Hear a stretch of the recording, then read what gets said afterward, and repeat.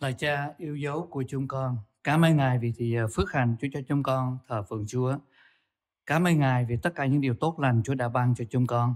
Giờ này đây, chúng con suy gẫm lời của Chúa. Xin Chúa Thánh Linh là giáo sư lớn của chúng con, hướng dẫn chúng con bước vào lẽ thật. Xin ban chúng con sự khôn ngoan để hiểu biết được ý muốn của Ngài trên cuộc đời chúng con. Và xin ban chúng con năng lực từ trời để có thể đủ sức áp dụng lời Chúa trong đời sống chúng con. Hầu chúng con sống kinh nghiệm một đời sống phước hạnh và qua cuộc đời phước hạnh của chúng con, chúng con mang phước hạnh của Ngài đến với những người xung quanh chúng con cảm ơn Ngài. Xin ở cùng môi miệng và tấm lòng con giờ này. Cảm ơn Chúa. Chúng con thành kính cầu nguyện nhân danh Đức Chúa Giêsu Christ. Amen. Trang trọng kính mời hội thánh an tọa. Kính thưa hội thánh, à, nhìn vào trong chương trình của chúng ta, chúng ta thấy cái bài dưỡng linh đó là tiếng gọi, sống theo tiếng gọi. Đó là cái chủ đề của tháng này. Nhưng mà khi tôi uh, suy nghĩ đến cái sự phục sinh của Chúa thì cái dư âm của mùa phục sinh vẫn còn. Cho nên tôi muốn thay đổi cái đề tài hôm nay. À, đề tài hôm nay của chúng ta là Chúa phục sinh giải quyết mọi nan đề. Kính thưa hội thánh, à, chúng ta nhìn vào cuộc đời, chúng ta biết rằng có nhiều nan đề ở trong cuộc đời chúng ta. Bệnh tật, hoạn nạn, chiến tranh và nhiều nghịch cảnh khác. Chúng ta biết đối với xã hội thì họ có nan đề đó, nhưng mà những cơ đốc nhân thì cũng không khỏi cái trường hợp này, không có ngoại lệ. Chúng ta vẫn có nan đề. Nhưng mà có một điều đặc biệt là chúng ta được Chúa phục sinh giải quyết. Có khi chúng ta suy nghĩ tại sao tôi là bị bệnh này rất là nặng nề, tại sao tôi ở trong nghịch cảnh kia, tại sao điều này điều kia xảy ra. Và có lần à, chúng tôi học ở thần vị Nha Trang trước 75 thì một sư giáo sư Phạm Xuân Tín à, chúng tôi đưa lên những câu hỏi thì ông có câu trả lời không được và ông nói là khi nào quý thầy về gặp Chúa trên thiên đàng thì Chúa sẽ trả lời. Cho nên chúng ta thật cũng biết rằng à, như lời của Chúa dạy ngày nay chúng ta xem như trong một cái gương cách mập mờ. Đến bây giờ chúng ta sẽ thấy hai mặt đối nhau. Ngày nay tôi biết chưa hết. Đến bây giờ tôi sẽ biết như Chúa đã biết tôi vậy. Bây giờ chúng ta biết chưa hết đâu. Có những điều chúng ta giải luận nó đúng phần này đúng phần kia nhưng mà không có hoàn toàn. Còn chúng ta có Chúa của chúng ta là đấng đã phục sinh thì chúng ta biết rằng Chúa giải quyết hết thảy những nan đề của chúng ta khi chúng ta quỳ gối xuống và rồi nếu có điều gì mà chúng ta còn nghi ngờ chúng ta tiếp tục tìm kiếm ý của Chúa. Bây giờ chúng ta sẽ suy nghĩ đến những nan đề mà chỉ có Chúa phục sinh mới có thể giải quyết được. Thứ nhất ai lăn hòn đá lấp cửa mộ cho chúng ta? Ở trong mát đoạn 16 câu 3 phần B mà nãy chúng ta đọc đó ai sẽ lăn tảng đá? Ai sẽ lăn hòn đá lấp cửa mộ cho chúng ta? Ở trong bản dịch mới dịch là ai sẽ lăn tảng đá khỏi mộ của chúng ta? À, trước cửa mộ cái tảng đá nó lớn lắm. Đối với những người phụ nữ tay yếu chân mềm không thể nào họ lăn cái tảng đá lớn để mà họ vào sức xác Chúa Giêsu à, chúng ta biết họ đi đến rất sớm để có thể gặp và sức xác cho Chúa. Nhưng mà họ rất bối rối bởi vì họ thấy có tảng đá lớn. Mà quý ông bà anh chị biết chúng ta thấy phong màn đó những người nữ ở đây, đặc biệt là có Marie Madeleine là người đã bị quỷ ám, bảy quỷ dữ nhập và Chúa Giêsu giải quyết. Chúa đã đuổi quỷ khỏi hết. Một quỷ nhập thì người ta cũng đã khốn khổ rồi, mà bảy quỷ thì kể như khốn khổ vô cùng, không thể nào diễn tả được. Nhưng mà Chúa Giêsu đã giải quyết. Thưa quý ông bà, anh chị em, trước khi Chúa Giêsu sống lại, nghĩa là sau khi chôn Chúa Giêsu rồi, thì những người chống đối Chúa Giêsu đó những thầy thông giáo những người Pharisee đến gặp à, Philát và nói rằng tôi có nghe rằng cái tên Giêsu này nè nói rằng ba ngày sau hay là ngày thứ ba sẽ sống lại. Như vậy bây giờ xin ông tổng đốc các người các lính để canh gác hầu cho không có điều gì dấu trá sau này xảy ra bởi vì cái điều dấu trá sau này nó có thể tệ hại hơn là điều trước đó nữa. Tổng đốc phi lát nói là các ngươi có lính trong tay hãy cắt lính đi canh gác và quý ông bà anh chị biết nếu chúng ta đọc kinh thánh thì sẽ thấy rằng họ đã cắt lính đi canh gác và lấy làm chắc chắn lắm, lấy làm chắc chắn lắm. Quý ông bà anh chị biết tảng đá rất lớn rồi lính canh đầy đủ. Thì những người phụ nữ tay yếu chân mềm làm thế nào có thể vào đó lăn được? Để có thể xét xác Chúa Giêsu bởi vì Mary Magdalene là người được Chúa chữa lành, đuổi khỏi bảy quỷ dữ. Bà rất yêu mến Chúa. Bây giờ làm sao đây? Nếu không đến được thì rất là đau buồn. Đang đi, đang phân vân, băn khoăn như vậy. Rồi, cứ bàn với nhau. Nhưng mà khi đến nơi thì cảm ơn Chúa. Chúa Giêsu đã sống lại. Thiên sứ lan hòn đá và ngồi ở trên. Cảm ơn Chúa. Khi thiên sứ của Chúa làm, Chúa dùng thiên sứ của Chúa lăn tảng đá, thì tảng đá lại lăn ra và Chúa Giêsu đã sống lại rồi. Bây giờ không còn phải lo lắng gì nữa hết. Thưa quý ông bà anh chị, Chúa Giêsu phục sinh, Ngài đã giải quyết một nan đề rất lớn cho con người. Không có gì là khó đối với Chúa, chúng ta để ý trong gian đoạn 11 kể lại câu chuyện mà Lazarus đã chết ở trong mộ 4 ngày, hôi thối rồi. Chúa Giêsu đã khiến Lazarus sống lại. Ngài kêu một tiếng, Lazarus đã ra khỏi mộ. Cho nên không có cái gì là khó đối với Chúa cả có những lúc chúng ta cần đến với Chúa để trình hết những nan đề cho Chúa. Ở trong Job đoạn 42 câu 2 cho chúng ta biết rằng, tôi biết rằng Chúa có thể làm được mọi sự, chẳng có ý nào, chẳng có ý chỉ nào Chúa lấy làm khó lắm. Không có cái gì là khó đối với Chúa. Và Chúa phán với Abraham và Sarah ở trong sáng thế đoạn 18 câu 14 rằng, há có việc chi Đức giê va làm không được chăng?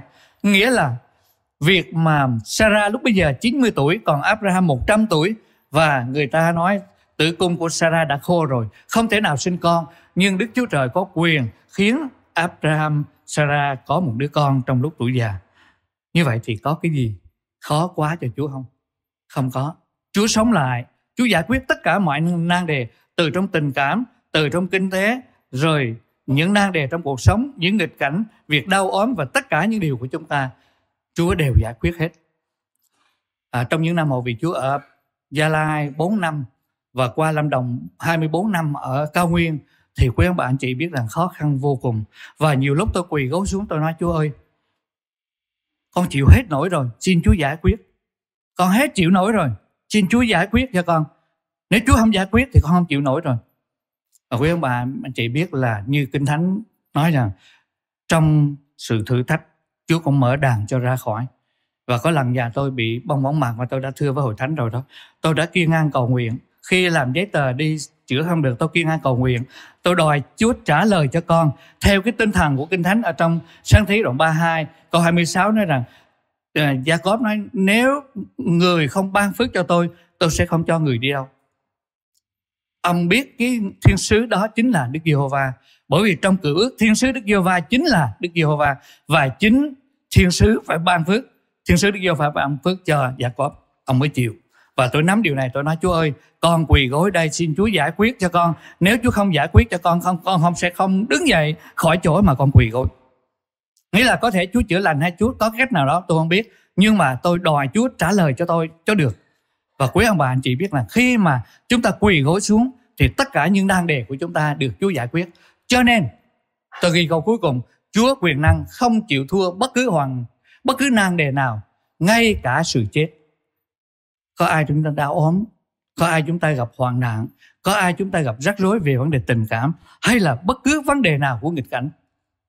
Chúng ta có đến với chúa và có hết lòng tìm kiếm chúa không? Để chúa làm việc, chứ không phải việc này, việc kia lớn quá chúa không làm được. Giống như ông tín đồ giữ nhà thờ quả đạn thứ nhất nổ xa, ông nói, chúa ơi, gần quá rồi, chúa ơi. Quả thứ hai nó gần tư thắt ông nói, chúa ơi, gần quá rồi. Ông bảo vệ, ông thấy cái quả thứ ba nó nổ tốc mái nhà thờ.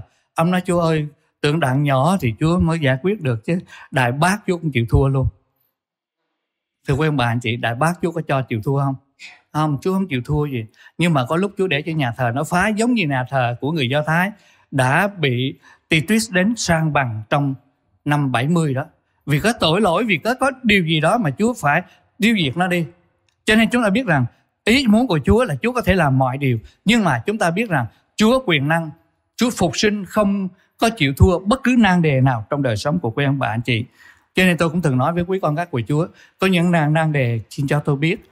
Hoặc là viết giấy hoặc là ghi à, hoặc là gửi qua tin nhắn Viber Zalo. Tôi nhớ và cầu nguyện và tôi tin rằng Đức Chúa Trời sẽ giải quyết. Cho nên chúng ta cảm ơn Chúa vô cùng. Chúng ta không giống như là những tôn giáo khác. Họ đến, họ cứ khâm họ cứ tụng niệm, họ làm đủ mọi điều để được thần của mình phù hộ cho chút gì đó. Nhưng mà chúng ta biết rằng chúng ta có Chúa phục sinh đấng có quyền năng để giải quyết mọi nan đề của chúng ta lúc chúng ta buồn bã chán nản Chúa cũng giải quyết không có gì là Chúa chịu thua cả bây giờ chúng ta nói điều thứ hai sao các ngươi tìm người sống trong vòng cái chết đây cũng là một nan đề của chúng ta. Đây là câu hỏi mà hai thiên sứ hỏi người đàn bà vào đến với Chúa Giêsu trong buổi sáng phục sinh.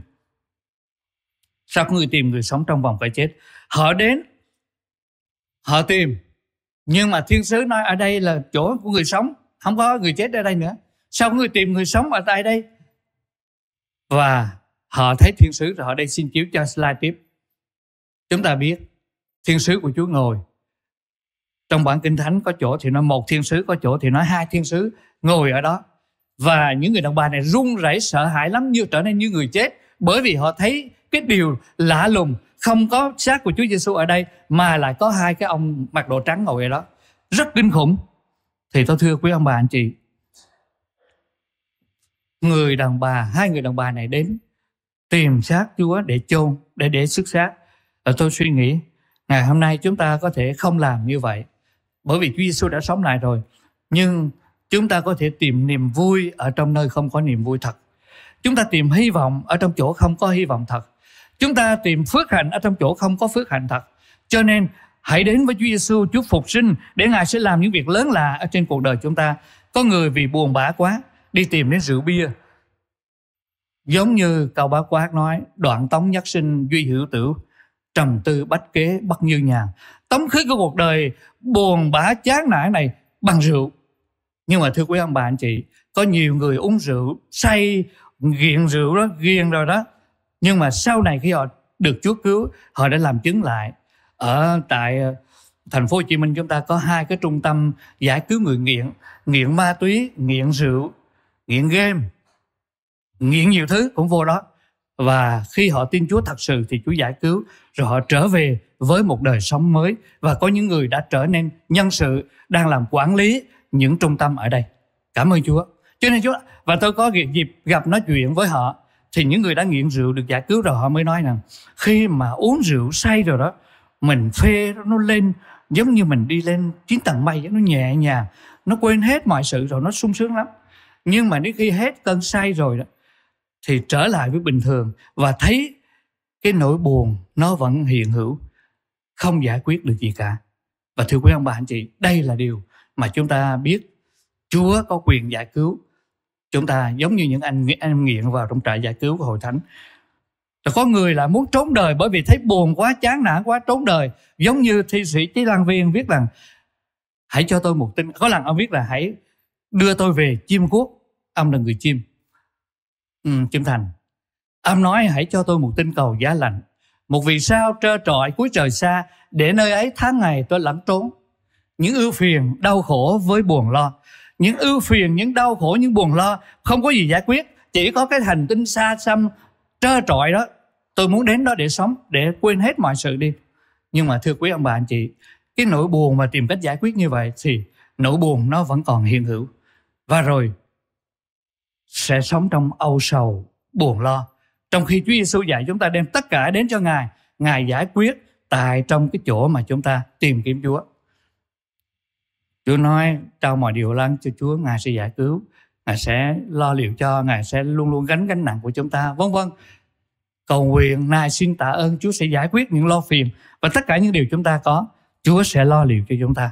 Cho nên xin giúp cho quý ông bà, anh chị và chính mình tôi trong mùa phục sinh, chúng ta có một Chúa sống như trong tuần qua tôi mới nói với ông bà anh chị chúng ta chào nhau giống như người Do Thái. Những ngày đầu tiên khi Chúa Giêsu sống lại họ nói Đấng Christ đã sống lại. Bên này thật Đấng Christ đã sống lại rồi. Chúa đã sống lại rồi và đấy là niềm vui. Xin Chúa cho chúng ta kinh nghiệm điều này. Tìm kiếm Chúa tìm đến Chúa. Và như đây thì tôi cũng nói một điều này nữa. Quý ông bà anh chị à, cảm ơn Chúa có những người đến nhóm đúng giờ hoặc là đến sớm để có thời giờ cầu nguyện. Nhưng mà cũng có người đi trễ. Mà nếu trễ lâu lâu trễ vì lý do đột xuất, vì cái trường hợp đặc biệt nào đó thì không sao. Nhưng mà có người đi trễ thường xuyên. Ban chấp sự nói với tôi là làm sao để chấn chỉnh việc này. Tôi nói cũng khó lắm, nhưng mà nếu họ thật sự tìm kiếm chúa, họ sẽ đến đúng giờ. Đến đúng giờ hoặc là đến trước giờ nhóm để cầu nguyện xin chúa ban phước cho buổi nhóm của chúng ta.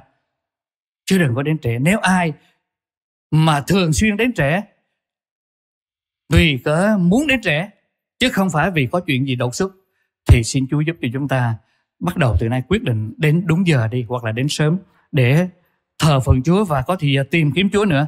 Chúa sẽ ban phước cho chúng ta. Bây giờ điều thứ ba mà chúng ta suy nghĩ, sao ngươi khóc? Đây cũng là một năng đề. Tại sao lại khóc? Mary Magdalene là người được hỏi hai lần. Lần thứ nhất là thiên sứ hỏi. Lần thứ ba, hay lần thứ hai là được Chúa Giêsu hỏi. Tại sao nàng quá âu sầu như vậy? Quý ông bạn chị biết Mary nói sao không? Tại vì không biết người ta đã dời xác Chúa tôi đi đâu rồi. Nói với Chúa Giêsu mà tưởng đó là một người làm vườn. Trong câu nói của Mary Magdalene có hai điều. Thứ nhất là Chúa vẫn còn chết. Chúa vẫn còn nằm trong mồ mã. Thứ hai là người ta ăn trộm xác Chúa rồi. Nhưng mà có thiệt là Chúa ăn, bị ăn trộm không? Không. Mary Magdalene cứ khóc và cứ nhìn vào phần mộ thay vì nhìn vào một đấng sống. Ngày hôm nay đôi lúc của chúng ta, đôi lúc chúng ta cũng vậy. Chúng ta cũng nhìn vào phần mộ chứ chúng ta không nhìn vào Chúa. Và chúng ta biết là Chúa Giêsu đã từng phán là Ngài đã sống, Ngài sẽ chịu chết, chịu chôn và ngày thứ ba sẽ sống lại nhưng các môn đồ quên hết lời của Chúa. Và chính ở đây Mary đã đến cũng như một số người khác đến để tìm một xác chết. Ước ao ngày hôm nay chúng ta không đến để tìm một xác chết.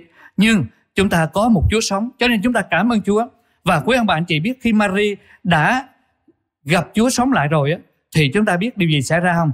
Ở trong gian đoạn 20 câu 18 chép rằng Mary Magdalene đi giao báo cho môn đồ rằng mình đã thấy Chúa và Ngài đã phán cùng mình những điều đó. Chúng ta thấy Mary đang ngồi đó, Mary Magdalene đang ngồi, Chúa Giêsu hỏi sao ngươi khóc? Thì được à, đây là một người làm vườn. Nhưng mà quý ông bà anh chị biết khi Chúa Giêsu hỏi Mary, Chúa Giêsu nói Mary thì Mary nghe cái tiếng này rất quen. Cho nên Mary giật mình và biết đây là Chúa Giêsu à vì vậy cho nên Mary nói chuyện với Chúa Giêsu Mary nhận biết Chúa đã sống. Cho nên trong chỗ này chúng ta thấy có hai điều. Thứ nhất đó là Mary đối diện với Chúa phục sinh.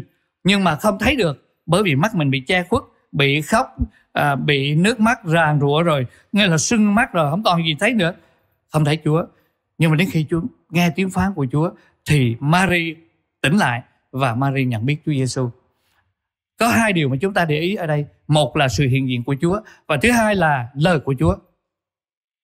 Có người đọc lời của Chúa và họ nhận biết chính Chúa phán với mình thì họ có thể được gây dựng, được đăng đỡ. Nhưng cũng có người đọc Kinh Thánh rất nhiều nhưng mà đọc bằng lời văn tự và họ không có thấy gì cả. Chúa Giêsu phán rằng, xác thịt chẳng ích chi, những lời ta phán cùng hướng các ngươi đều là thần linh và sự sống nếu chúng ta đọc lời của Chúa mà để cho thánh linh của Chúa hành động, thì chúng ta nhận được sự hiện diện của Chúa, sự thăm viếng của Chúa và chúng ta hưởng được phước hạnh của sự bình an từ nơi Chúa và Mary khi gặp Chúa sống lại, bà nghe được tiếng phán của Chúa và lật lật vội vàng như cái câu kinh thánh gian đoạn 20 câu 18 đó, đi ra giao báo cho môn đồ bây giờ không có ngồi đó mà chờ nữa, nhưng mà đi, đứng dậy làm liền đây là điều mà Mary đã có, và đây cũng là thái độ mà Chúa mong muốn cuộc đời của chúng ta. Tôi nhớ có một câu chuyện đã xảy ra vào chiều ngày 3 tháng chiều, của một ngày tháng 3 năm 1945 khi Thế chiến thứ hai sắp chấm dứt. Quý ông bạn chị biết là những tên tử tội đứng xếp hàng và một viên sĩ quan người Đức. Đứng đó, chỉ huy cái đội hành quyết sẽ bắn những người bị hành quyết ở đây. Thì mấy anh à, lính ở trong đội hành quyết lên đạn, sẵn sàng hết rồi và chờ bóp cò thôi. Thì ngay cái lúc mà lên đạn sẵn sàng hết rồi, thì ở đâu không biết, có một đám trẻ thiếu niên nó chạy ao tới, nó vây quanh những người tử tội và anh lính sĩ quan người ý à, người đức mới ra lệnh là thôi dừng lại để khoan. Bởi vì không biết cái đám này nó làm sao mà nó làm bia đỡ đạn cho mấy cái tên tử tội. Cho nên phải dừng lại. Và sau đó quý ông bà anh chị biết tên um, mấy anh em mấy em à, thiếu niên buổi đời đó nó vây quanh những những người ở trong đội hành quyết. Và cuối cùng thì những người tử tội đó những tên tử tội lật đật chạy trốn hết thoát khỏi hết và quý ông bà, anh chị biết là những thiếu niên mà nó nó làm như vậy đó, nó là những tên bụi đời. Vì cớ trong chiến tranh đã cướp đi những người cha, người mẹ của nó. Nó buồn quá và nó chơi bời với bạn bè bụi đời. Và sau khi những người hành quyết được trốn thoát hết rồi, trong số đó có một người tên là một bác sĩ. Ông tên là Herman, bác sĩ Herman. Ông cũng bỏ chạy và vì ông thấy rằng mình được sống, đây là một điều kỳ diệu quá. Đáng lẽ mình chết mà bây giờ mình được sống, thì ông vui mừng quá ông muốn tìm lại những đứa trẻ kia để có thể cảm ơn chúng nó. Nhưng mà không tìm được bởi vì nó đi đâu mất hết rồi. Và khi bác sĩ Herman nhận biết cái ơn của ông nhận được qua những đứa trẻ này đã giúp cho ông sống được thì ông mới tìm cách để giúp đỡ cho những đứa bé. Những đứa bé đứa trẻ à, nghiện ngập những đứa đầu đường xó chợ mồ côi những đứa bụi đời vân vân. Ông tìm cách giết à, giúp cho chúng nó. Và cuối cùng ông đã tìm cách nuôi dạy gần 4.000 trẻ em như thế ở trong những cái trung tâm mà do ông xây dựng. Ông biết ơn, ông không có ngồi đó mà, ô, tốt quá, cảm ơn các em lắm, tốt quá tốt quá. Không, ông hành động hành động để chứng tỏ lòng biết ơn. Kính thưa quý ông bà anh chị, tôi suy nghĩ điều này liên quan đến việc của chúng ta. Đáng lẽ chúng ta chết mà Chúa Giêsu chết. Đáng lẽ chúng ta ở địa ngục mà Chúa Giêsu là chịu chết thế để cứu chúng ta chúng ta biết ơn Chúa, chúng ta không có ngồi đó mà nói, Chúa ơi, cảm ơn Chúa, cảm ơn Chúa quá, cảm ơn Chúa quá. Không, Chúa muốn chúng ta hành động. Nhiều người xung quanh đang cần chúng ta được cứu, cần cứu họ. Chúng ta đem trên lành của Chúa đến cho họ, hoặc là nói điều gì đó, hoặc là đọc cho họ nghe một câu kinh thánh, hoặc là tặng cho họ một quyển sách chứng đạo, hoặc là mời họ đến dự truyền giáo và nhiều cách khác, có người dân tiền cho công việc truyền giáo vân vân, nhiều điều chúng ta có thể làm. Cảm ơn Chúa. Chúng ta biết ơn Chúa nên bày tỏ bằng hành động cụ thể cũng giống như Mary Maryland cũng giống như các môn đồ về làng Emmaus lật đật chạy báo cho người khác biết về cái tin vui mừng đó xin Chúa nâng đỡ chúng ta ban ơn để chúng ta bày tỏ lòng biết ơn một cách cụ thể và đó là điều mà Chúa muốn. Chúa muốn cuộc đời chúng ta không có ở dưng, không có ngồi đó mà cứ nói hoặc là ngồi đó mà than thân trách phận. Chúa của chúng ta đã sống rồi. Xin Chúa nâng đời chúng ta. Xin chính Thánh Linh của Chúa hành động trên cuộc đời của chúng ta để chúng ta sống cuộc đời ích lợi cho Chúa, vinh hiển danh Chúa. Bây giờ chúng ta nói đến điều thứ tư. Người yêu ta chăng? Người yêu ta hơn những kẻ này chăng? Ở trong văn đoạn 21 Chúng ta biết Chúa Giêsu nói ba lần. Hai lần đầu, lần thứ nhất và lần thứ nhì Chúa Giêsu hỏi Phêrô là ngươi có yêu ta chăng? Chữ yêu đầu tiên đó trong lần thứ nhất, lần thứ nhì Chúa hỏi đó agapao trong tiếng Hy Lạp nó có nghĩa là yêu vô điều kiện. Chúng ta thường nghe tình yêu agape agape là danh từ mà agapao là động từ. Người có yêu ta bằng tình yêu vô điều kiện đó không? Thì ông phi trả lời với Chúa là Chúa ơi con yêu Chúa nhưng mà không dám trả lời là con yêu Chúa vô điều kiện. Nhưng mà ông trả lời là lại Chúa con yêu Chúa bằng tình yêu, bằng tình bạn đó là phileo, lại Chúa con phileo Chúa. Con yêu Chúa bằng tình bạn. Và lần thứ ba thì Chúa hỏi, phi ơi, con có yêu ta chăng? Và Chúa Giêsu lần này hỏi, Chúa đổi cách hỏi là Chúa hỏi, người có phi lê ồ ta không? Tức là yêu bằng tình yêu bạn, bạn bè đó, có không? Bây giờ dầu không yêu cái tình yêu kia thì yêu cái tình yêu này có thật không? thì ông nói lại Chúa con yêu Chúa tức là bằng tình yêu bạn bạn bè và quý ông bà anh chị biết là phi buồn bởi vì Chúa Giêsu hỏi đến ông đến ba lần mà là buồn là một cái. Mà thứ hai là Chúa Giêsu hỏi lần thứ ba đó, Chúa Chúa hỏi, Chúa thay đổi cách hỏi, không có hỏi người yêu ta bằng tình yêu vô điều kiện không?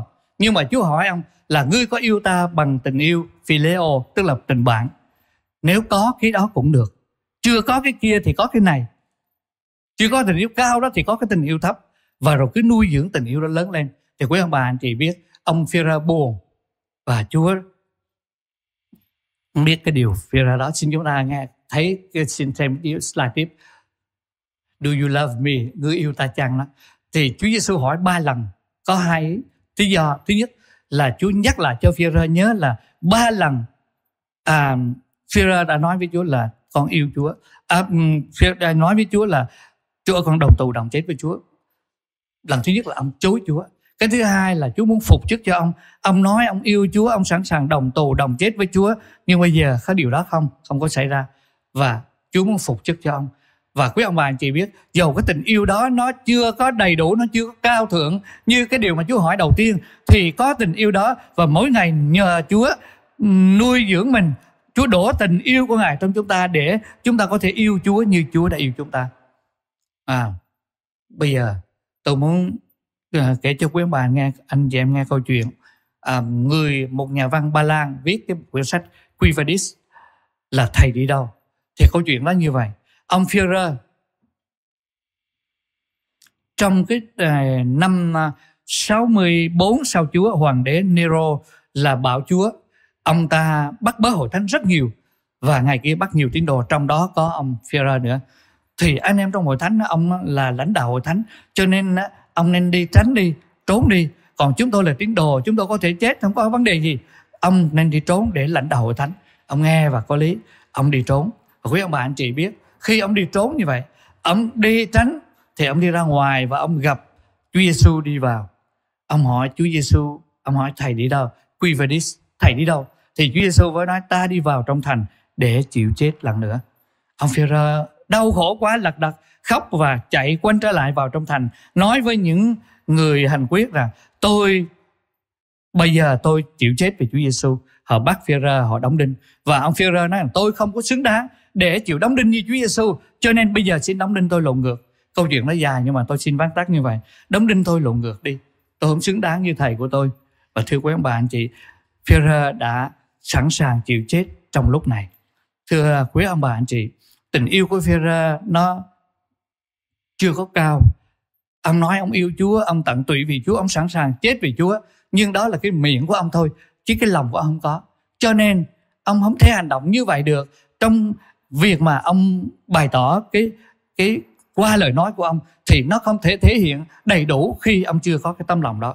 Cho nên xin Chúa giúp cho quý ông bà, anh chị và chính mình tôi, giàu tình yêu của chúng ta. Có thể hôm nay còn phôi pha, còn lợt lạc, nhưng mà Xin Chúa đổ tình yêu của Ngài trên chúng ta, nuôi dưỡng tình yêu chúng ta trong chúng ta một cách đầy đủ để từng ngày từng ngày lớn lên và chúng ta có thể yêu Chúa hết lòng, rồi yêu thương người lân cận và thậm chí yêu kẻ thù. Như Chúa Giêsu khi ở trên thập tự giá thì Ngài nói lại cha xin tha cho họ vì họ không biết mình làm điều gì. Còn ông Ê Tiên khi bị ném đá vào trong mình những cái viên đá to tướng và ông sắp chết đến nơi thì ông nói lại Chúa xin đừng đổ tội này cho họ. Tại sao Ê Tiên có thể nói điều đó?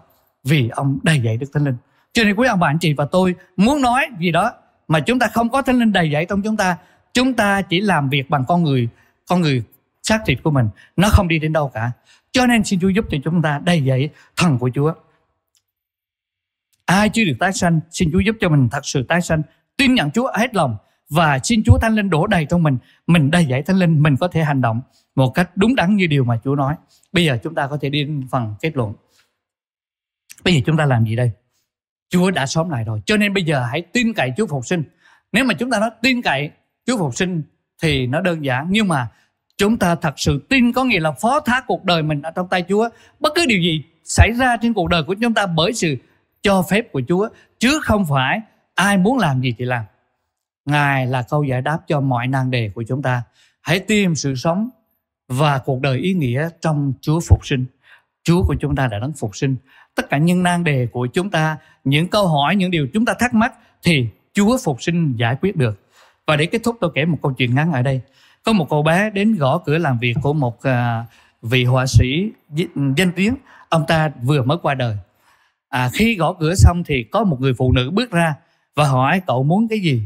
Thì đứa bé này đứa học trò này nó mới nói thưa bà tôi muốn có được cây cọ của vị danh họa này để vẽ thì bà đưa đưa đưa tay tức là muốn vẽ giống y như họa sĩ ấy. cho nên người em học trò này nghĩ rằng cái họ, bút à, cái cái cọ của ông danh họa này thì có thể vẽ được giống như ông.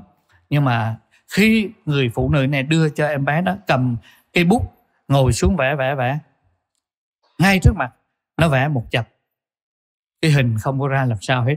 Và nó nghĩ rằng cái hình nó vẽ đó nó cũng xấu nó không có đẹp cũng giống như nó dùng cái cọ của nó, chứ không phải là nhờ cây cọ của họa sĩ danh tiếng mà mình có thể vẽ đẹp như họa sĩ danh tiếng là được. Bởi đó, nó đứng dậy và cái người phụ này, nữ này nói với nó một câu rồi câu này rằng, con ơi, con hãy nhớ rằng con không thể vẽ giống như vị danh sư này được, trừ khi con có tinh thần của vị danh sư này.